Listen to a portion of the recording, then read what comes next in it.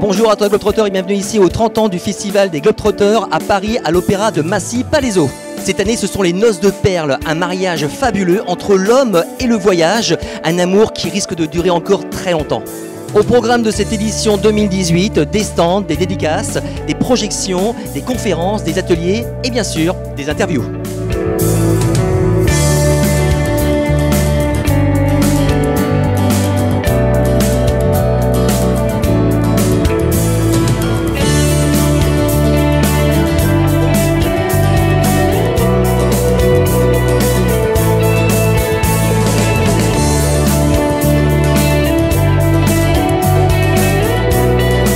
Réan, on s'est vu la dernière fois, c'était en 2014. Aujourd'hui, on est en 2018. Qu'est-ce qui s'est passé depuis?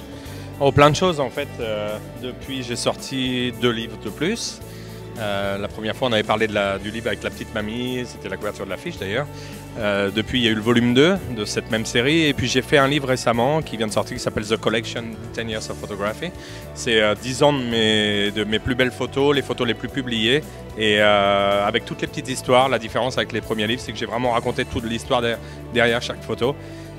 Et ça vient de sortir, voilà. C'est pour ça que je suis là aujourd'hui. Plusieurs livres, également plusieurs galeries. Alors j'ai euh, j'ai ouvert une galerie à Saigon, au Chi Minh, euh, dans le sud du Vietnam. J'ai effectivement une galerie aussi à Hoi An depuis 2014. Et j'ai ouvert un musée. Euh, un musée parce que depuis 7 ans, j'essaye de retrouver toutes les ethnies du Vietnam. Il y en a 54 comme tu le sais. J'en ai retrouvé 49 pour l'instant. J'ai récupéré tous les costumes et j'ai ouvert un musée gratuit pour lequel été primé au Quai d'Orsay le 15 mars. Euh, j'ai gagné un trophée pour le, le musée. C'est un musée de préservation des ethnies du Vietnam et je suis le seul aujourd'hui étranger euh, dans le monde à avoir retrouvé 49 ethnies sur 54. Benoît Sandrine, vous êtes rentré en 2016, il n'y a pas très longtemps, avec un beau bébé. Voyage, partage et potage. Euh, c'est un livre qui raconte euh, notre histoire de voyage où on est parti pendant deux ans autour du monde à la découverte des cuisines du monde. Et pourquoi donc cette, cette thématique sur le, le- bah, on va dire, le partage? On peut comprendre, mais c'est surtout sur le côté culinaire.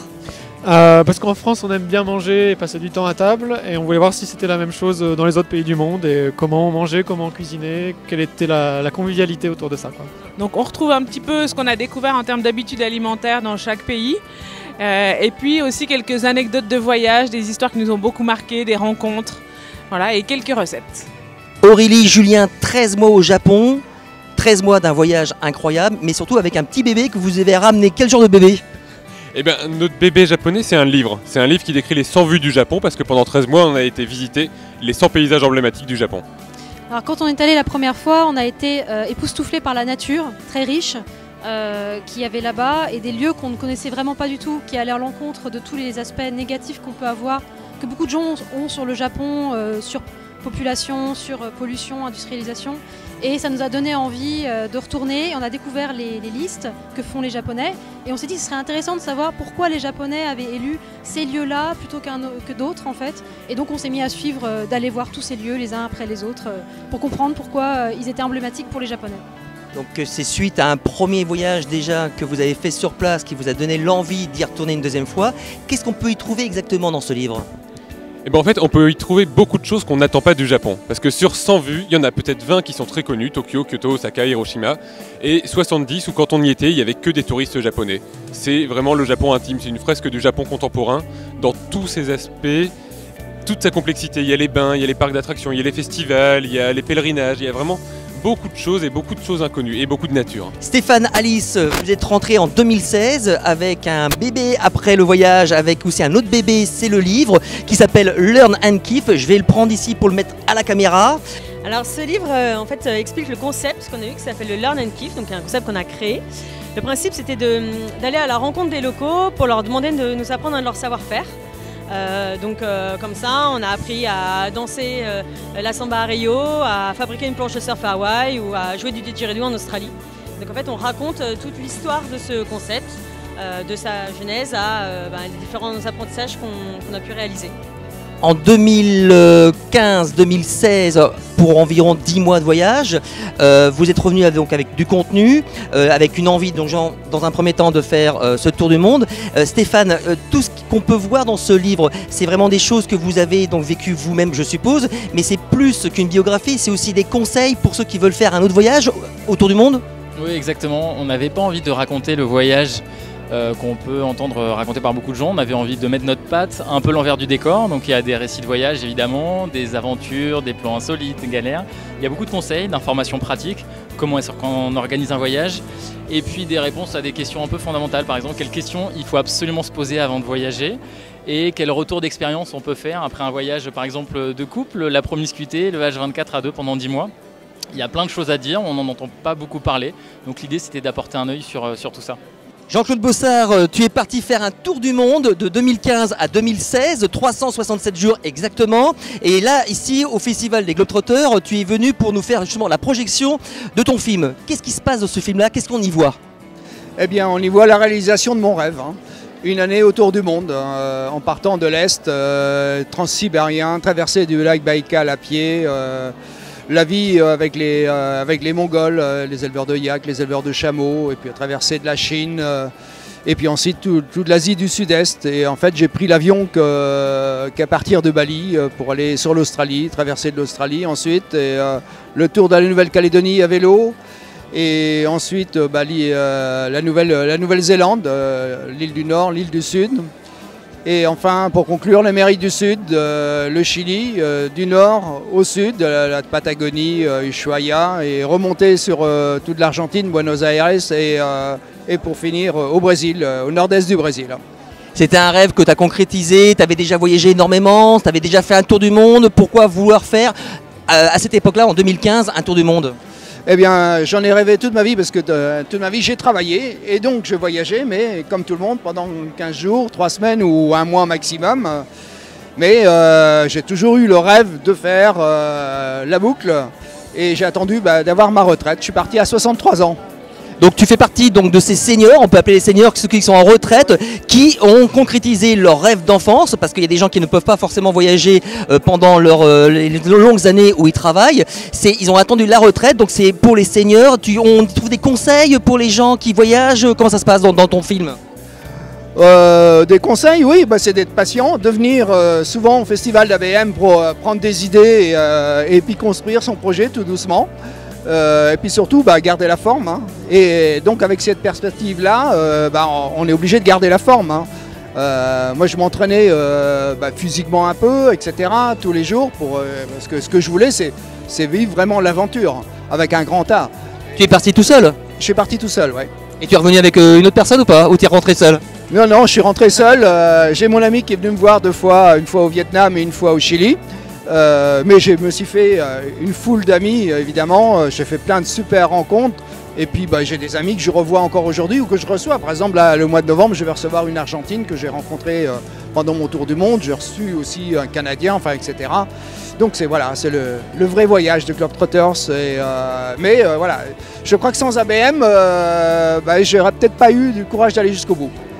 Et là, j'ai vu que voilà, c'était possible pour les autres, donc c'était possible pour moi. Damien Castera, merci d'être présent au Festival des Globetrotters. Tu es surfeur, tu es de Bayonne et là euh, ta projection donc, de ton film au festival, c'est une projection d'un surfeur qui est parti en voyage. Est-ce que tu peux nous en expliquer un peu plus? Ouais, c'est ça. Je suis parti avec ma compagne, euh, Justine Mauvin, qui n'a pas, là, qui a pas pu venir euh, ce week-end. Et on est parti euh, 62 jours, donc deux mois, euh, à la recherche de nouvelles vagues. Donc explorer euh, des endroits, la Papouasie et les Mentawai, c'est deux, archipels euh, différents. Et euh, voilà, au fur et à mesure des rencontres, des tribus, euh, l'axe principal du voyage, c'était de replacer le surf dans un esprit un peu plus large, de rencontres, d'aventures, de, voilà, de marche dans la jungle, et puis de, de voir ce qui va se passer. Quoi. Donc un surfeur, c'est vrai que c'est toujours en quête des nouvelles vagues à travers la planète. Tu surfes un petit peu partout dès que c'est possible. Mais pour pourquoi spécifiquement dans cet endroit-là? Bah, comme tu l'as dit, euh, on essaye de, trouver toujours des nouvelles vagues et ça devient un peu compliqué parce que le monde a été exploré de fond en comble. Donc euh, les derniers spots que j'avais trouvés c'était en Alaska ou, en Patagonie, donc c'est des endroits froids. Et les endroits chauds sont difficiles à trouver. Donc euh, la Papouasie ça reste encore très sauvage, donc il n'y a pas beaucoup de tourisme en Papouasie-Nouvelle-Guinée. Du coup, il y, a beaucoup, beaucoup d'archipels, des îles par centaines, donc je pense que l'exploration a encore de belles heures devant elle.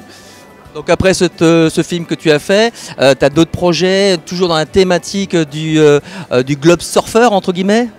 Euh, ouais, là je suis en train de finaliser un projet. Je viens de rentrer du Liberia, là, euh, où j'ai passé un mois euh, à la frontière du Sierra Leone pour aller à la rencontre d'une communauté naissante de surfeurs. Et euh, en gros, c'est au lendemain de la guerre, c'est.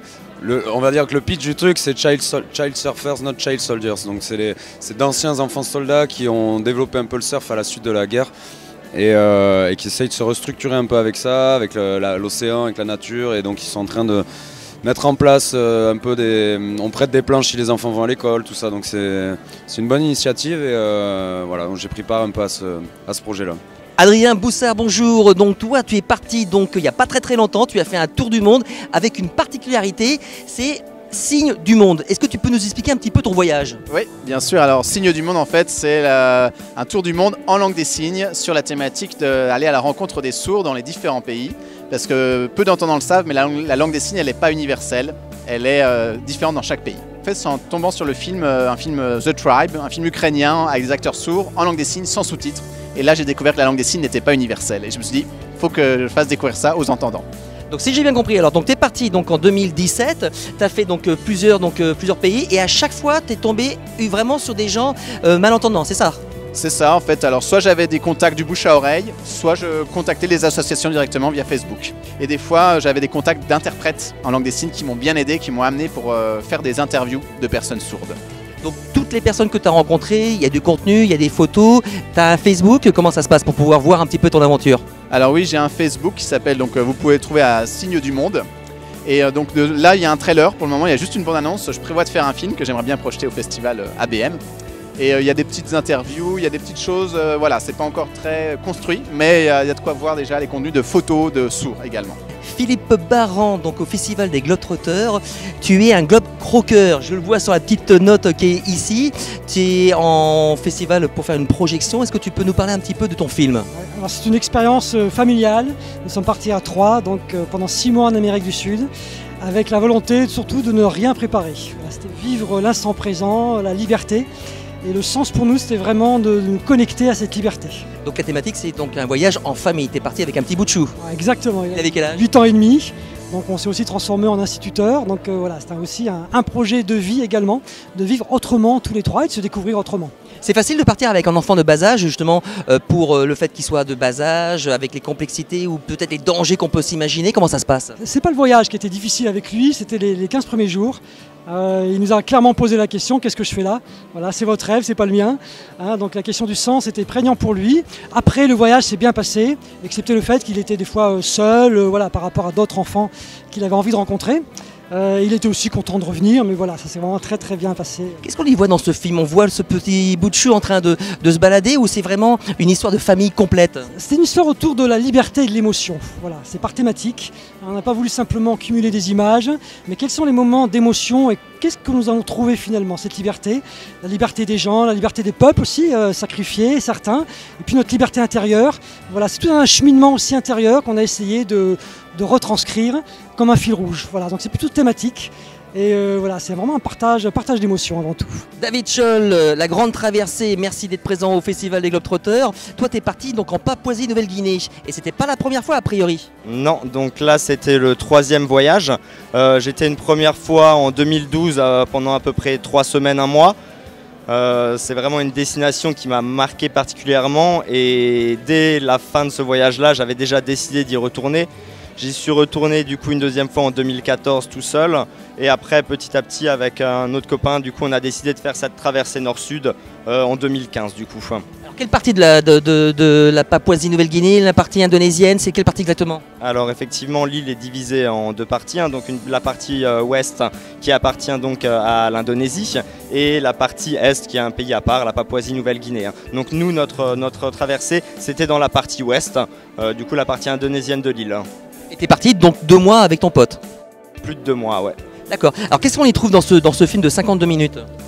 Alors ben c'est un film qui va relater du coup notre traversée, euh, notre traversée nord-sud de l'île. Alors euh, effectivement il y a euh, une partie un petit peu le côté euh, on va dire aventure, marche, rando, etc. Et il y a quand même la grande partie du film, ça va être les rencontres qu'on fait pendant ce voyage-là, la culture papou qui est quand même quelque chose d'assez d'assez extraordinaire. T'es parti une première fois, t'es parti une deuxième fois, il y a la saison 3, est-ce qu'il y aura une saison 4 Euh, non, c'est pas prévu pour l'instant. Après, j'ai quelques petites idées, mais des choses un peu plus compliquées, mais qui nécessitent une préparation un peu, un peu plus, un peu plus poussé. Françoise Marissal au Festival des Globetrotters. Tu es venue notamment pour un livre qui s'appelle La Terre entre mes mains et également pour le Woofing. Est-ce que tu peux nous parler déjà un petit peu de Woofing Alors le woofing, c'est Willing Workers on Organic Farms. Donc c'est-à-dire en fait on est volontaire dans des, dans des fermes bio et en échange on est logé et nourri. Tu voyages que comme ça? Ah non, non, non, mais en fait là j'ai euh, fait ça durant un an. Euh, bah, tout simplement parce que j'avais j'avais envie de faire un voyage qui soit utile, qui ait, qui ait du sens, qui ait du sens surtout dans l'environnement. Et là, donc, effectivement, c'est euh, les fermes bio. Et puis moi, j'aime être dehors, euh, j'ai de l'énergie. Et c'est vrai que c'est un moyen en fait de, de connaître un pays d'une autre façon, parce qu'on est chez les gens, on est chez les agriculteurs, et ça, c'est, enfin, ça, c'est euh, extrêmement riche, quoi. Donc tu as fait quel pays donc, euh, Et ces pays-là, on les retrouve dans ton livre, je suppose? Euh, donc j'ai commencé par le Canada. Ensuite, je suis allée à Détroit parce que je voulais absolument vivre là-bas toute cette aventure de, l'agriculture urbaine, parce que c'est la Mecque pour ça. Ensuite, j'étais en Amérique centrale. Je suis allée ensuite à Tahiti, où j'ai travaillé dans une ferme de, perliculture. Euh, je suis allée ensuite en Nouvelle-Zélande, en Thaïlande et j'ai terminé par l'Inde. Mais là, j'ai pas fait de woofing, mais j'ai rencontré une association qui travaille aussi dans l'environnement. Euh, alors, je dirais que ce livre, c'est pas uniquement sur euh, le woofing, c'est c'est vraiment au direct ce que, ce que j'ai vécu. Donc, c'est-à-dire que je partage mes enthousiasmes, j'ai mes coups de gueule, euh, j'ai mes crises de nerfs, euh, j'ai les rencontres que je fais. Du bonheur aussi un petit peu quand même, non? Comment? Oui, non, mais évidemment. mais et, et en- disons qu'en même temps, effectivement, je parle de ce que je fais, je parle, je parle des gens que je rencontre. Mais c'est vrai que sur, sur une année, il y a les bons moments, il y a les moins bons moments. Mais et puis euh, et puis surtout, effectivement, il y a tous mes enthousiasmes sur bah, les rencontres que je fais, sur euh, les sur les fermes où, euh, j'étais, parce que enfin il y a des il y des des fermes effectivement où il y a eu des des, euh, des échanges vraiment humains très très forts quoi. Jacques Ducoin, bonjour. J'ai l'habitude de recevoir généralement ton fils, David, mais aujourd'hui, eh ben, c'est le papa. Et le papa qui revient euh, d'un voyage avec un reportage. Alors c'était chez les Dolgan. hein, Dol- C'est où les Dolgan Euh, Les Dolgan, ils sont pas tellement connus. hein, Je crois qu'il n'y a pas eu grand-chose sur eux jusqu'à maintenant. Euh, c'est un petit peuple de Sibérie, parce qu'il y a beaucoup de petits peuples qui longent toute la côte de Sibérie. Et les Dolgan en font partie. Ils sont tout au nord et euh, ils vivent de manière assez particulière puisqu'ils sont semi-nomades, mais ils sont, ils se déplacent en fait et puis ils vivent dans des.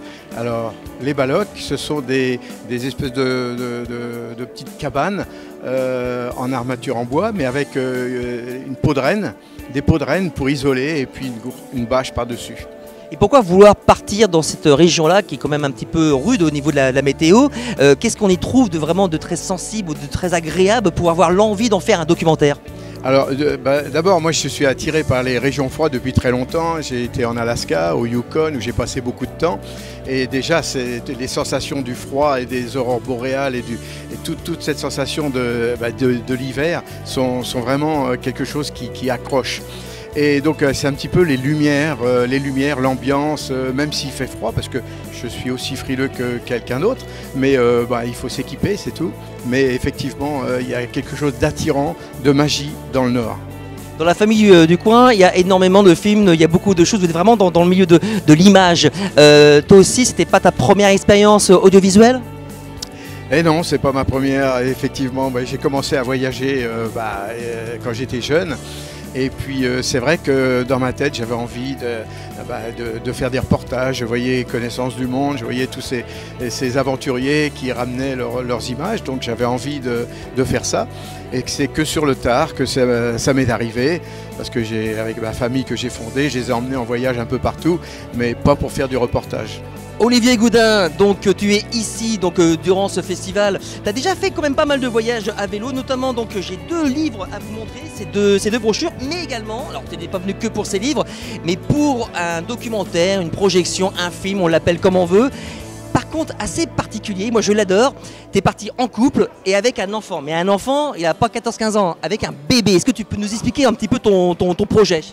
Effectivement, quand on est parti avec euh, Axel en Amérique du Nord, il avait 10 mois. Et l'idée c'était de montrer que bah, le fait euh, d'être parent, c'était pas forcément un obstacle à partir à l'aventure, qu'on pouvait continuer à avoir des rêves de voyage lointains, même avec un tout petit. C'est ce qu'on a fait. On a investi dans une remorque euh, spéciale, une seule roue, pour pouvoir passer dans des chemins, et on est parti traverser les montagnes rocheuses au Canada et aux États-Unis.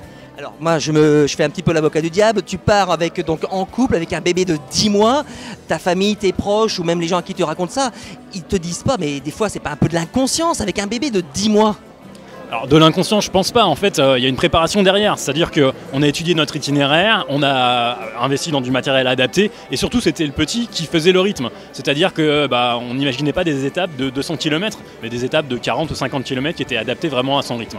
Donc c'est lui qui en fait a dirigé un petit peu qui a pris les commandes du voyage, et tout s'est très bien passé. Alors du coup, donc dans ce film, qui est le, euh, l'acteur principal? C'est le petit ou c'est les parents? Ah, c'est un petit peu tout le monde, c'est une affaire de famille en fin de compte. Quoi. Pour que ça fonctionne, il faut que tout le monde soit sur la même longueur d'onde, le petit y compris, mais il faut tout faire pour qu'il puisse s'adapter à, la réalité du terrain. Mais on s'aperçoit rapidement qu'en fin de compte, c'est lui qui prend le dessus. Nous, on s'adapte à lui, mais lui s'adapte très facilement absolument à toutes les situations qu'on rencontre. Donc c'est effectivement très facile de voyager avec un tout petit. Très agréable de... Euh, voilà, de regarder euh, tous euh, ces retours de voyage. Et puis il y a des jolis symboles. Le, le, voyage, il y a trois temps en fait. Il y a pendant, il y a avant qu'on prépare et puis il y a après. Et euh, il y a deux mouvements. Il y a le mouvement où on s'éparpille, on va partout, et puis il y a le moment où on se rassemble. Ici, c'est le moment où on se rassemble, et euh, pour moi, c'est une, une jolie métaphore de Skemassi, qui est euh, une ville qui rassemble des gens qui viennent de partout, soit qu'ils aient été voyagés, soit qu'ils soient nés ailleurs. En tout cas, c'est un beau plaisir voilà, de, vous accueillir tous. Et puis, je dois dire que par ailleurs, c'est un moment de qualité avec des gens sympas. Euh, vous êtes plutôt sympa vous-même. Euh, donc euh, voilà, c'est aussi pour ça que je, viens vous voir. Alexandre Poussin, bonjour. Merci d'être venu ici pour le Festival des Globetrotters. Alors, on a l'habitude, on a eu l'habitude une époque de te voir avec Sylvain Tesson. Cette fois-ci, tu es venu présenter un film 4 ans à 4. Est-ce que tu peux nous expliquer un petit peu le pitch? Eh ben, C'était le tour de Madagascar, ça paraît simple comme ça, en trois mots, mais ça nous a pris 4 ans et 5000 km et énormément d'épreuves. Là, on va montrer ce soir l'épisode 11, qui est le premier épisode de la saison 3, euh, parce que ça a duré longtemps, euh, qui relate nos péripéties euh, sur la côte nord-ouest du côté de Tamatave. Donc on va découvrir pas mal de choses. Ça s'appelle Madatrek souffre parce qu'on a eu pas mal d'épreuves. Pendant ce film, on a perdu un zébu, on a perdu, ben, je vous dis pas tout, on a perdu pas mal de choses. Nos parents étaient très malades de cancer, euh, ils nous ont quittés. Enfin, voilà, c'est assez plombé le film, mais il y a plein de belles rencontres qui remontent le moral. Donc voilà. Donc 4 ans euh, avec donc beaucoup d'émotions, beaucoup beaucoup de choses, beaucoup de contenu. c'est toute une saison a priori parce que là donc l'épisode 11 si je ne m'abuse. Est-ce qu'il y en aura d'autres par la suite? C'est quoi en fait le concept global? Le concept global, ça devait être 8 épisodes, et eh bien il y en aura, il y en aura 15 au total, peut-être même 16. Donc c'est même pas qui tout double, c'est qui tout triple. Donc c'est juste euh, incroyable ce, pays, c'est un continent, hein. on dit l'île continent, c'est à cause de son enclavement, il y a très peu d'itinéraires, très peu de routes, et les arpentés en charrette qui faisaient 500 kg plus... Euh, plus euh, une tonne de zébus, 4 euh, zébus euh, de, 200, de 500 entre 300 et 400 kg chacun, plus le matériel, c'était lourd à déplacer, des fleuves à, traverser. Il y avait un petit côté croisière noire dans notre histoire. Donc en fait, dans ce, dans ce reportage, c'est une c'est l'aventure, c'est l'histoire de quatre personnes qui sont à fond dans ce, dans, dans, dans, dans, ce trip. à la rencontre des gens. Et quel est le fait le plus marquant pour cet épisode Amada? Alors, il n'y a, pas que nous, en fait. On filme et on documente ce que l'on voit. Donc, on a fait beaucoup de sujets sur des, entreprises, des initiatives, des, rituels, des cultes, des, choses que vivent les Malgaches. Donc, on filme nous, on filme euh, eux et on filme les interactions. Donc, euh, beaucoup de sujets. On apprend plein de choses dans nos films. C'est très varié. Il y a un peu de tout. Katia Astafiev, t'es venue au Festival des Globetrotters avec un joli petit livre tout rose fluo, mais qu'est-ce qu'on y voit dedans? Parce que je vois justement voyager seule quand on est petite, blonde et aventureuse. Ça veut dire quoi? C'est des anecdotes de voyage un petit peu partout dans le monde qui arrivent à une femme seule, mais on a le droit de le lire si on est grand, brun, pas trop aventureux, ça marche aussi. Euh, et puis ça répond à plein de questions existentielles que tout le monde se pose en voyageant, du genre euh, comment se faire des copines qui aiment Poutine, euh, comment voyager dans le transsibérien avec des Russes qui sentent la bière et le poulet frit, comment survivre au crachat des Chinois. C'est du vécu tout ça? C'est du vécu. le mieux c'est comment camper dans le Connemara quand on a une cystite. vous avez jamais vécu ça, j'imagine Moi non jamais. voilà, mais c'est des choses qui arrivent. On n'en parle pas assez de ces choses-là. Voilà. euh, voilà. Donc c'est sous un angle un petit peu humoristique, les aventures et mes aventures euh, d'une femme seule en voyage, euh, qui doivent surtout pas faire peur, au contraire, peut-être inciter à prendre la route toute seule et partir découvrir le monde. Ça se passe très bien quand on est une femme, généralement. c'est pas, pas un problème, au contraire. Donc c'est une biographie en fait de tous tes voyages durant pas mal d'années, hein, si j'ai bien compris. Voilà, c'est un peu un best-of de mes, mes aventures autour du monde euh, qui se termine gé- généralement bien parce que je reviens à chaque fois. Alors comment faire pour pouvoir euh, justement pour se procurer cet ouvrage euh, rose fluo? Alors il est dans toutes les librairies, euh, il vient de paraître en livre de poche aussi, sous un autre format un peu différent, moins rose, euh, pour ceux qui n'aiment pas le rose, voilà.